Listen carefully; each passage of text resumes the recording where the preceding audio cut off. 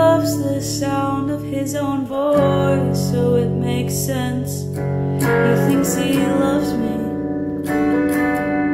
Cause I listen and I never fucking